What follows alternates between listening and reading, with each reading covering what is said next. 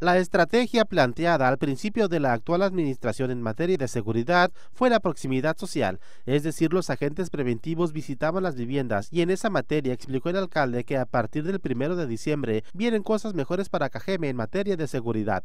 En la búsqueda de la seguridad ciudadana se debe reorganizar para que exista una verdadera coordinación entre los tres órdenes de gobierno. En rueda de prensa, Sergio Pablo Mariscal Alvarado señaló que la seguridad es el tema número uno que preocupa al presidente municipal y envió un mensaje a la población que se retomará la tranquilidad. Y es que la ciudadanía exige más y mejores resultados, que finalicen ya los ataques armados. Y en respuesta el alcalde señaló que en 15 días no se puede hacer mucho. Nosotros estamos haciendo frente a esta situación y con mucha responsabilidad, no le sacamos al bulto. Y que lo sepan y que lo sepan quien lo tenga que saber, no le sacamos el bulto. No somos un gobierno secuestrado por nadie, ni menos por la delincuencia, ni por ciertos grupos de interés lo reitero.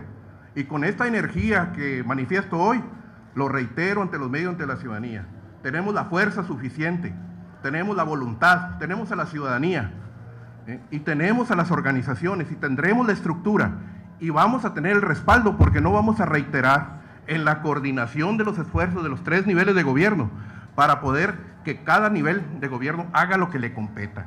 El gobierno federal tendrá que hacer lo propio, el gobierno del estado también, pero nosotros en el municipio le vamos a torar. Le vamos a torar. Imágenes y edición de Edgardo Félix. Informó para las noticias Tomás Valenzuela.